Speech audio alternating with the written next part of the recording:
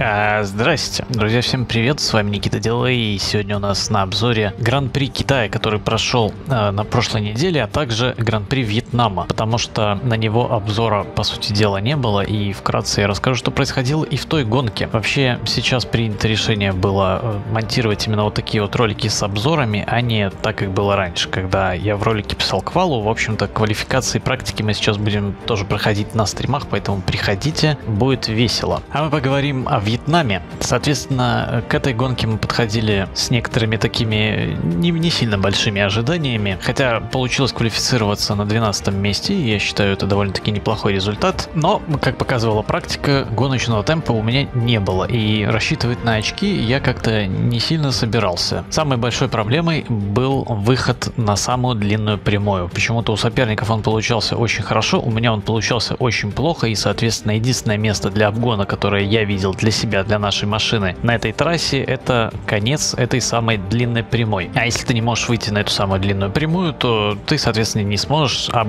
обгонять там. По тактике нам э, компьютер предлагал проехать два отрезка на софте и один на медиуме. Ну а если бы мы якобы ехали с тем же износом, как у нас была прог программа «Стратегия на гонку», то там был чуть больше расход, не знаю. Мы, в общем-то, решили стартовать именно по стандартной стратегии soft-soft medium. На старте гонки, как обычно, самое главное было не всрать старт, не разбить машину. И вроде как неплохо я оттолкнулся, что называется, и набрал темп. Неплохой был старт, но все равно мы его, по сути дела, всрали. Изначально мы обошли Сайнса или Норриса, не помню. Но в итоге на вот этом вот кольце, которое первое идет сразу же после старта, там где выезд с питлейна, там Сайнс меня таки проходит. И на этой самой длинной прямой мы еще проигрываем сражение э, сзади идущему розовому Мерседесу, в котором был Строл. После чего к, к этому самому выходу на эту самую длиннющую прямую, на которой, да, там типа есть поворот десятый, который числится, но это одна прямая на ней, она полностью проходится на газ в пол, и как видите, Строл уезжает. У меня с выходом большая проблема. И что делать в гонке здесь, я, в общем-то, не знаю. Получилось то, что получилось. В общем-то, пелетон потихонечку растянулся, и наша задача была догонять Строла. Однако, так как пелетон еще не успел растянуться, мы, соответственно, сумели догнать эту группу на торможении в шпильке, вот в этой, и каким-то образом я промахнулся мимо торможения, немножко поддел там Норриса и каким-то чудом прошел Строла. И в итоге оказался впереди него на первом круге, по сути дела, отыгранная позиция. Попытка еще была потягаться с Норрисом, но в эти эски в конце вдвоем заезжать это очень плохая идея. И еще Строл пытался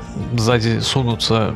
В общем-то, Норриса пришлось немножко подотпустить. На третьем круге мы сумели подобраться к Норрису, и выход на эту самую прямую получился не такой уж и плохой. Соответственно, прожав все кнопочки, обогащеночка, ЕРС и крыло еще потом у нас появилось в итоге, а у Норриса его не было, мы сумели провести атаку, и, собственно, она произошла довольно-таки успешной. На этой прямой вот так вот можно обгонять, если, правда, на эту самую прямую хорошо выйти. Но в данном случае получилось это сделать, и поэтому Норрис был пройден. Вообще, забегая вперед, можно сказать, что у Норриса эта гонка не задалась, были у него какие-то проблемы постоянные, именно технические, и в итоге он откатился довольно-таки далеко потом, в итоге. На пятом круге нам удалось приблизиться к паре Сайнс-Перес. Сайнс активно пытался атаковать Переса, сзади Строл от нас не уезжал, он прошел Норриса и, соответственно, прессинговал нас. Сайнс прошел Переса прямо перед нами, и опять длиннющая прямая, на которой Лэнс Строл на нас накатывал просто с немыслимой силой. И даже с учетом того, что мы ехали, используя обгонную кнопку, обогащенку, у нас было крыло, Force India все равно, точнее Racing Point была быстрее, ну в слепстриме плюс еще. И на торможении перед шпилькой, когда Сайнс атаковал Переса в очередной раз, точнее Перес пытался по внешне атаковать Сайнса и таким образом отыграл себе позицию, хотя не знаю, может быть я Сайнсу там даже немножко помешал, мне дали предупреждение, Строл меня прошел. Но очень ненадолго, потому что на следующем же повороте я уже вошел по внутреннему радиусу, может быть немножко нагло, но позицию мне удалось отобрать обратно. Контратака прошла успешной и, в общем-то, надо как-то стряхивать Строла, тянуться за Сайнцем, и я не знаю, что делать. К седьмому же кругу Сайнц уже оказался впереди Переса и успел отъехать от него из зоны крыла более чем на секунду. Мы сумели подобраться к Пересу, у него нет крыла, мы опять прожимаем все кнопки на этой самой длиннющей прямой и пробуем его пройти. И это оказывается сделать проще, чем казалось на первый взгляд это будет. Не знаю, Перес почему-то в этой гонке тоже особо сильно не ехал. Может быть у него двигатель изношен, может быть еще что-то. Вы это в общем-то поймете еще дальше. Но нам удалось отыграть еще одну позицию и дальше мы оказались на десятом месте в погоне за Карлосом Сайнцем. На десятом круге на выходе на эту длинную прямую Карлос Сайнц был очень близко к товарищу Форточкину на Рено. Мы же были довольно-таки далеко э, в зоне крыла, но все равно не на дистанции атаки. Плюс Карлос Сайнц сам там атаковал, поэтому скорее всего он тоже прожал все кнопки на своем Макларене и точно так же на торможении прямо перед нами он умудрился обойти Стабана Акона в борьбе за восьмое место. Нам в общем-то надо было тоже и Акона проходить и вообще кого-нибудь проходить. Мы еще кое-как держались в этом темпе. На одиннадцатом круге Сайнц оказался уже довольно-таки далеко от Акона. Акон остался без крыла и у нас была попытка атаки на этой длинной прямой и на Эстебана, но она не, ус не увенчалась успехом. Однако далеко мы от него не отстали и на 12 круге попробовали повторить свою атаку, опять-таки прожав все кнопочки. До этого мы не все кнопочки прожимали. И удалось обойти, удалось. Акон остался тоже позади. Мы выходим на девятую строчку, уже два очка мы везем своей команде, что я считаю очень неплохим результатом. Главное дотянуть до финиша в таком темпе. А лучше еще обойти тех, кто едет впереди. На 17 круге пришла наша пора заезжать в боксы. Шины довольно-таки сильно уже износились. У нас была тактика двух питов. У всех остальных, у наших соперников, кто с кем мы боролись, по сути дела, на этой гонке, была тактика трех питов. И все они заезжали в боксы раньше нас, круга на 4. Соответственно, на свежем комплекте они проехали довольно-таки большую дистанцию и отыграли у нас время. Мы вышли из боксов э, позади Джовинации, даже позади Перес Мерседеса. Тут выход из боксов был очень страшный.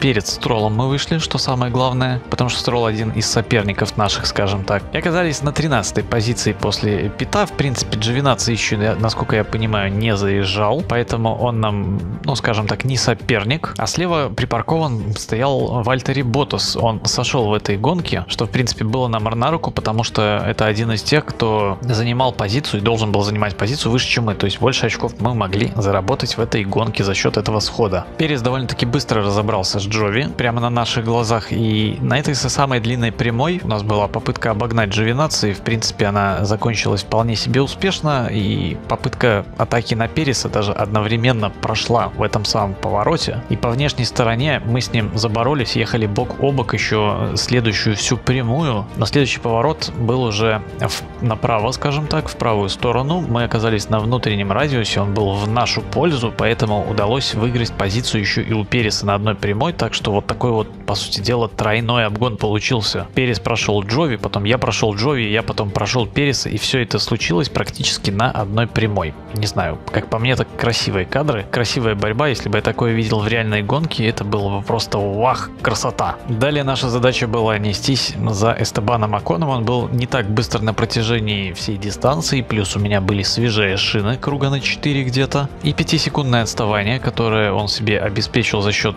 так сказать, андерката, за 4 круга буквально удалось нам сократить, и мы подобрались к форточке, но на 22 круге. А далее оставалось просто оставить всю работу Хонде, Honda Power, Honda Тащи и все дела. Прожимаем все кнопки, открываем крыло.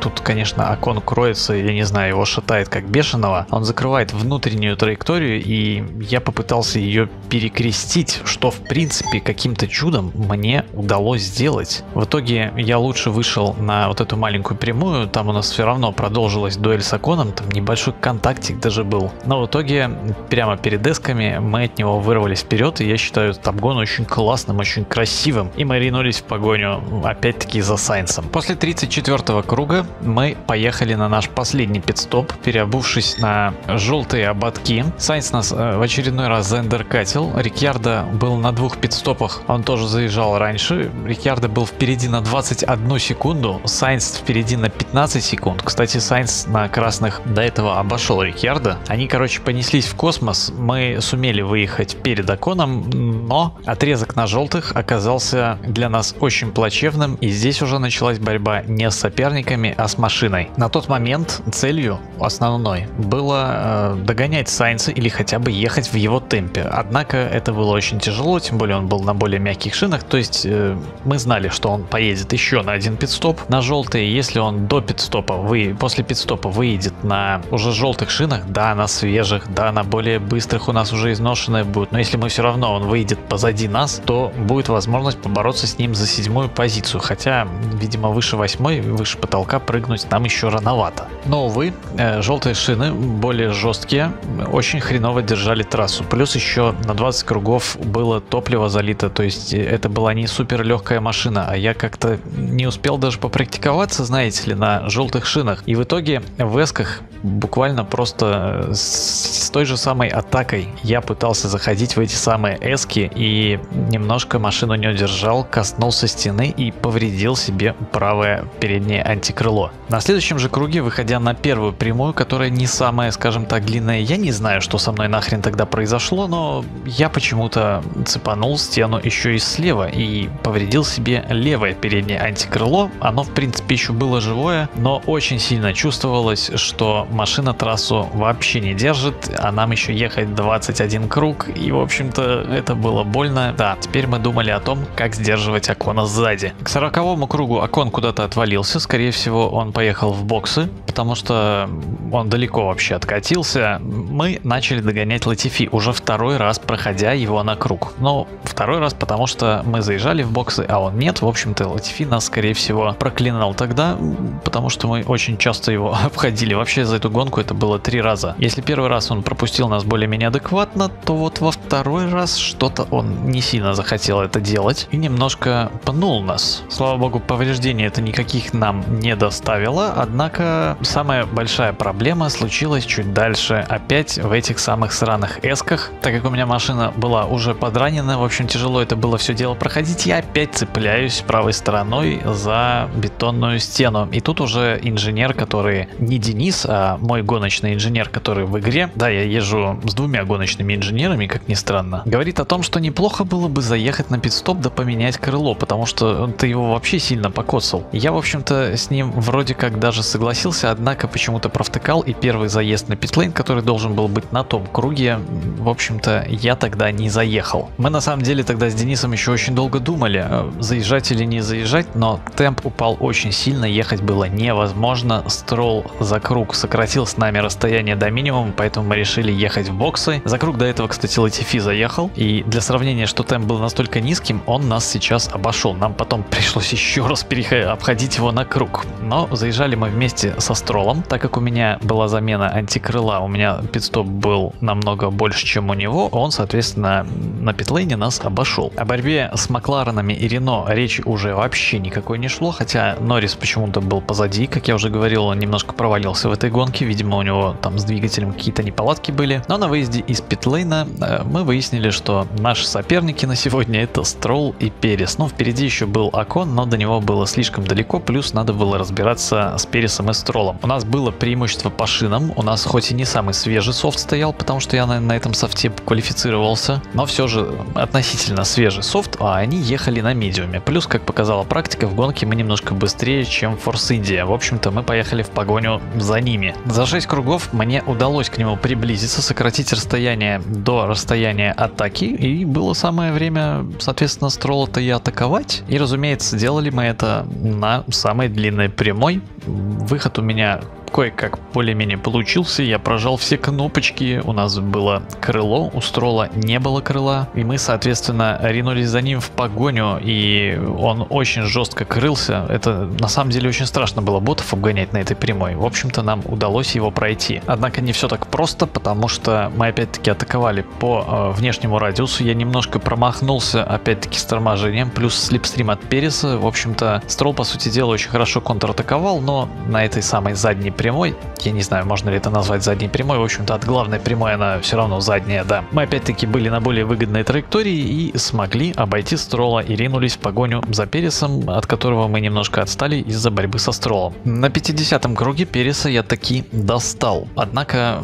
у нас было принято решение, что мы будем за ним просто ехать, потому что впереди у нас окон. Перес, если мы его обгоним, то он обгонит нас на следующем круге, и так может вообще бесконечно долго продолжаться. И мы, в общем-то, решили просто терпеть и 4 круга ехать за ним, а на самом последнем круге самую последнюю атаку провести, дабы она, может быть, будет успешной. Я, в общем-то, на это очень сильно надеялся. Подэкономить немножко ресурсы и все такое прочее. Но на 52-м круге Перес ехал, но очень медленно и буквально мешался мне под колесами. И хоть и старался сильно его не атаковать, но меня сзади атаковал Строл. Поэтому мне пришлось топить, и из-за этого на этой самой длинной прямой, просто тупо обороняясь уже от сзади идущего Строла, мне пришлось Переса, соответственно-то, и проходить. И опять я промахнулся с торможением на выходе, однако от Строла мне удалось таки защититься в тот момент. Но Строл в зеркалах, как мы видим, тоже прошел Переса в этом самом повороте, поэтому теперь нам нужно без крыла защищаться от Строла. У Строла, разумеется, был темп, и у него классная машина, он классный двигатель, и на прямой на 53-м круге, когда у меня не было крыла, а у него оно было, плюс